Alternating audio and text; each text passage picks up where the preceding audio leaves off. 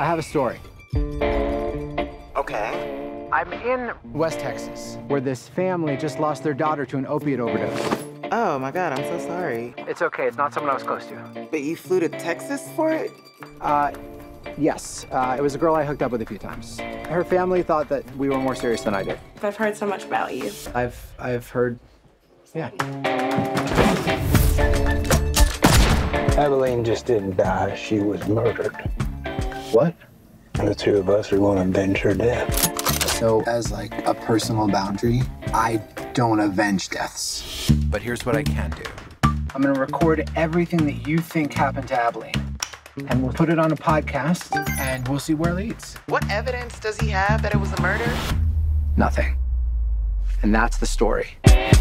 What's this podcast about? A new American reality where people invent these conspiracies You got deep state, pill pushers, cartels, the law.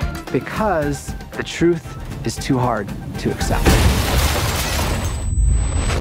My Prius exploded. Oh my god. What if you were driving a real car with gas and stuff? The problem isn't that these people aren't smart. The problem is that they are. How do you take your coffee? In the mouth? If you want people to open up to you, you gotta act like one of us. Who here is a die-hard fan of the University of Texas?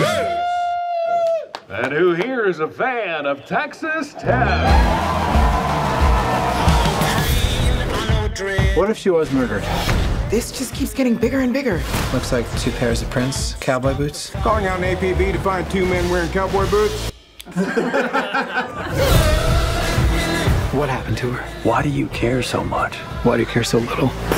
You're so lucky in you, Abilene. I really don't know what you saw in me.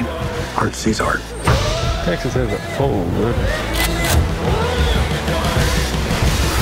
You can't solve something like this with a 45. It's the breakdown of society is what it is. Yes, ma'am. I think that's very wise. You're gonna need a 12 gauge, a couple of ARs, No. Western automatic, and a sidearm for safety.